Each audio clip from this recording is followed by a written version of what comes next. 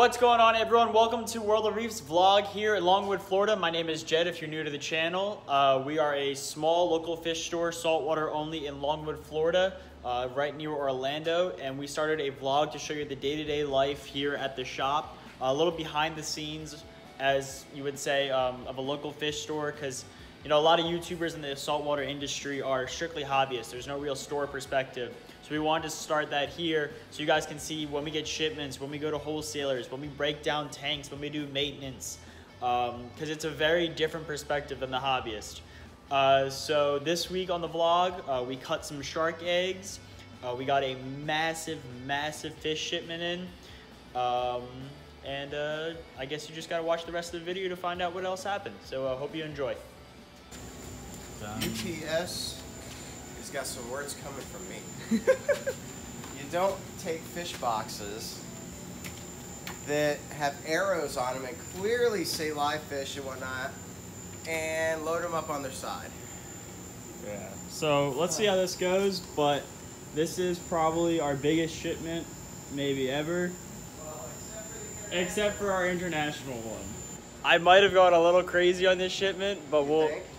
Hey, relax. But uh, we got some really, really cool things in here, and uh, I can't wait to show you guys, so uh, stay tuned. So it's been about an hour, and we're finally done unboxing. I'm gonna start on this side, because that side's really cool. So, when I say a lot, I mean a lot. We'll make it work. we'll make it work, but there's a lot. Um, we're gonna come around. This is our invert system, so using more wrasses, dragonets. And uh, I'm gonna cover this next one.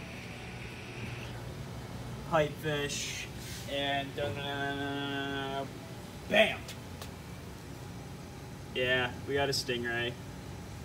So we're gonna get these guys dripping, or they are dripping. Uh, gonna be a bit. We're gonna clean up while we're waiting, and then uh, start putting them into bins, and we'll uh, see. We'll see you guys after that, because it's gonna be cramped for sure, but uh, an amazing shipment. I think we only had one DOA. Yeah, I think so. It was just one. That's a really good shipment for the amount of fish that we got. Only one DOA. That's fantastic. You can't ask for better than that. So uh, see you guys in a bit. Just added the stingray. Can you see from top? There's a stingray. Got his own, not his own. He's got a couple of friends in there, but we moved all the rocks to the back, give him as much sand space as possible. That's so cool. Pretty dope. Bro, move. I'm trying to get a video. Alright. So, uh, it's packed. Definitely packed. So, uh, this tank definitely got some new members. Chromis kind of had him. Sorry about the cyano in that tank.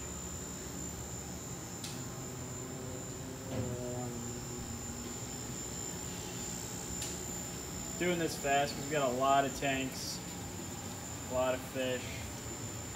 Finally got stuff with the gem tank. We have not been able to put anything with her for the longest time, but we just put basically all these fish in at the same time and she just couldn't do anything about it. So she's gonna be a little stressed because she hasn't really seen another fish for a long time. And she's still going at it, but it'll be better because now there's massive nasos in here. And there's the stingray all buried up.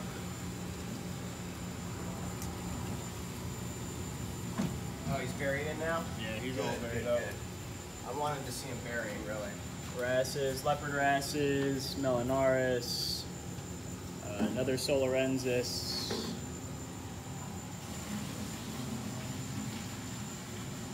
Ruby Reds, Red Scooter Blenny, Pipefish. Not a lot. But uh, that just means we have stuff for you guys when you come in. So uh, check us out. Another cool thing we got is diamond goby. No, just kidding. Um, I don't see it, but I saw it buried right here. It is a little flounder. So if you're hungry or you want one for your tank, we have a flounder. Somewhere in here. Hey, me. Just uh, close siphoning the system, as you can see. So close siphoning is to get all this debris off the bottom, whether it's food that wasn't eaten, poop, seaweed, whatever, uh, just to clear up the tanks. They're just not sitting in filth all day.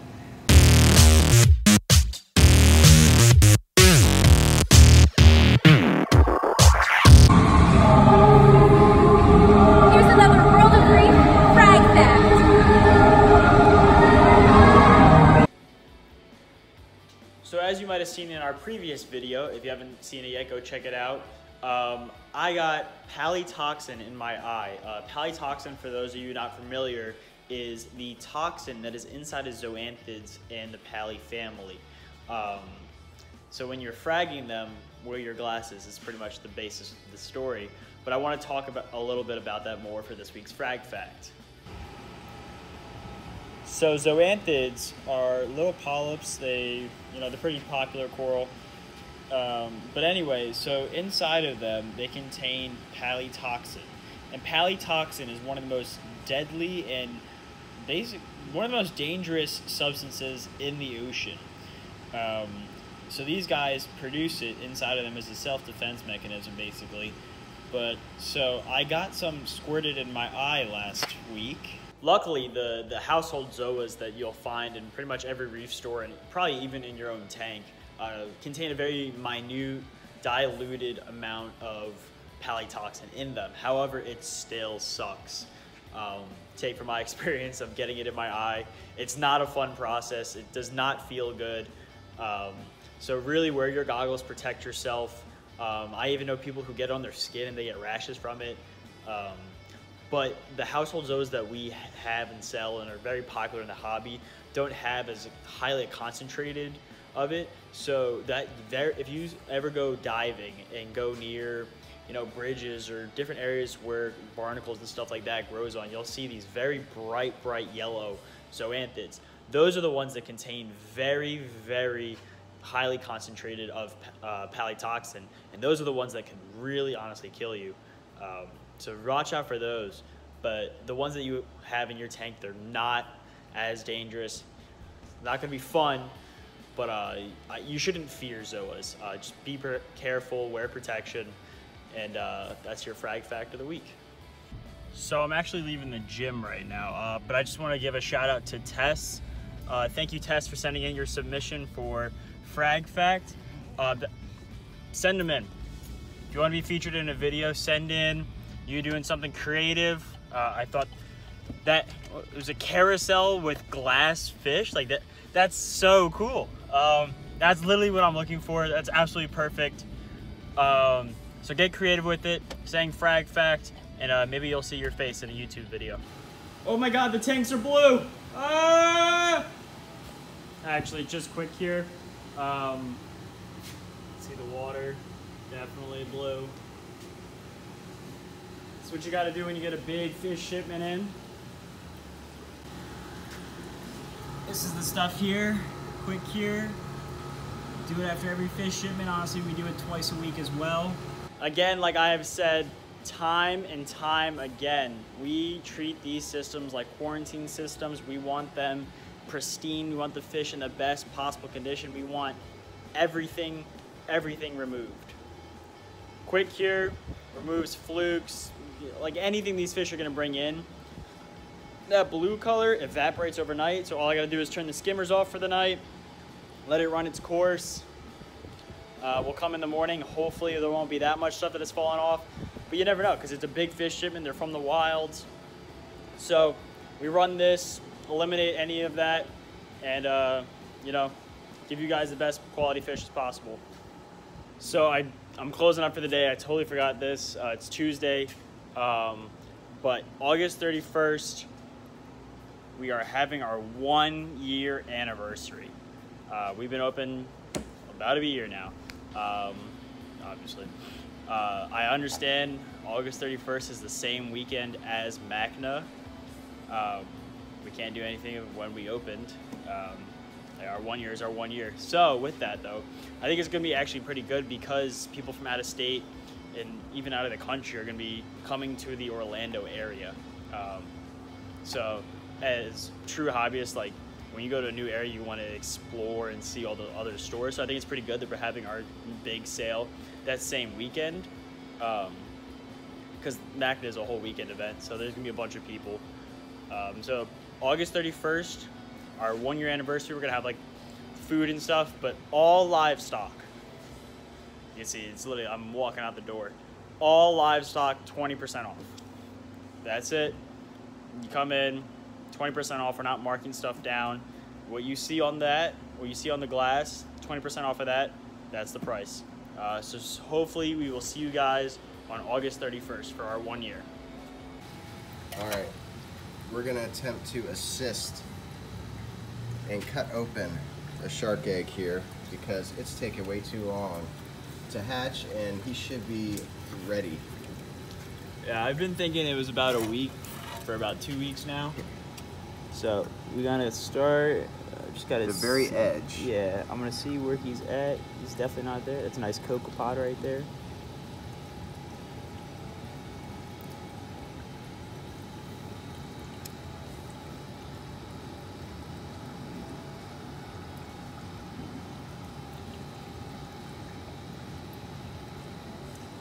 Go up the side a little. Yeah. Just make sure I don't. It's a very nerve-wracking thing. Just gonna peel it from now on. I don't want to. Last thing I want to do is cut him. Quick side note: that was the first shark egg I have ever cut in my entire life. I'm gonna be brutally honest. I've watched dozens and dozens of videos on how to do so, but that was the first time myself actually doing it. So you can see me struggling with it a lot because I didn't under, I didn't realize that you know you can't really just peel it. Like you truly have to cut through the entire egg. Um, so I struggled with it a little bit. Luckily, I didn't cut him. You know, he was fine. That that part's easy to do because you can see where he is. It's just you have to cut it. So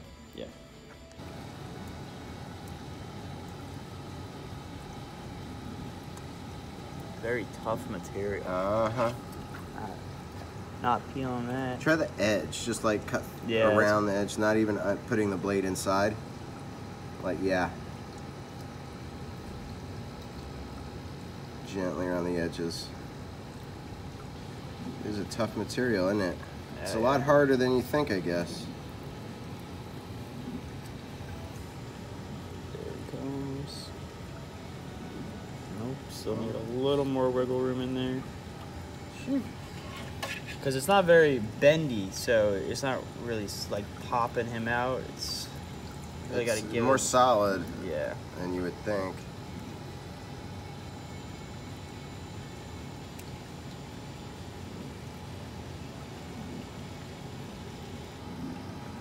Damn it.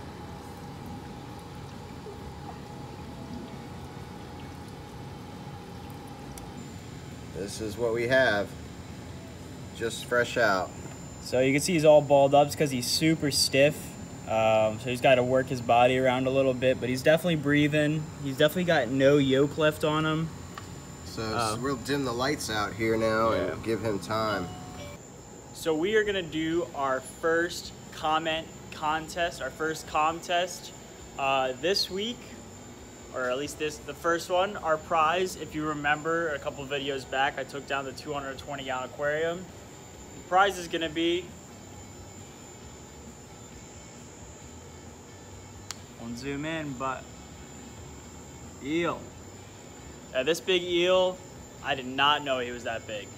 The guy told me a foot. It's not a foot. That's he's like two and a half feet. So, the winner of the contest, very simple, gets the eel for free. All you have to do is pay for shipping, but you get the eel for free, or you can come into the store and claim him. But it's he's free. If you live in the area, just come get him. If you want him shipped, just pay for shipping. The question is, where are snowflake eels from in the world? That's it. Whoever is the first to comment it wins the eel. That's it. First to comment who, where they are from, gets the eel. We'll figure something out on shipping or wherever, but you will win the eel. So comment down below. So another video of me just being bored, so I decided to cut the shark egg. No, I'm kidding. I didn't cut the shark egg because I was bored. I cut the shark egg because it needed to be cut. Uh, again, like I said with the other one, I think they should have been out like two weeks ago. There's no yolk. Uh, so I got a little concerned because it's there's plenty of stories where they just die inside the egg. So this is our new baby. Other banded cat shark, still a little balled up, but he's clearly breathing all right. I think this is the one that we did earlier in the video, and that's the one that came out by himself. This one's still got a little yolk on it, so I'm not gonna cut him. But uh, yeah, so now we got three sharks in World of Reef. So if you want a banded cat shark, you know where to find them. Alrighty guys, that's gonna do it for this week's vlog. Uh, it's Tuesday, so again, I got our invert shipment. Wow, that was really blue. It's a little better. Uh, most of them are already in the tanks. Um, we did get a couple fish, you know, to restock what we sell a lot of, so copper bands, chromis, uh, powder blue, damsels. Uh, so stuff like that is what I usually get with our invert shipment, uh, just to refill the tanks because we sell them really fast.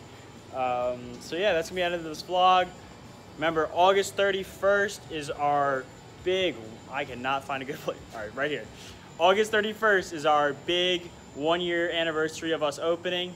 Livestock is 20% off. 20% off. I know it's the same weekend as Macna, um, but we figured all it. I mean, it's our one year, so we kind of can't move the date. But also, you know, like people from out of state are gonna be coming to Orlando area, um, so it's a great way to attract people into the store as well. Uh, so yeah, August 31st, if you're here from Macna, we'd love for you guys to come up and see us as well. Um, but yeah, for for now, comment, rate, subscribe, and we'll see you guys later. See ya.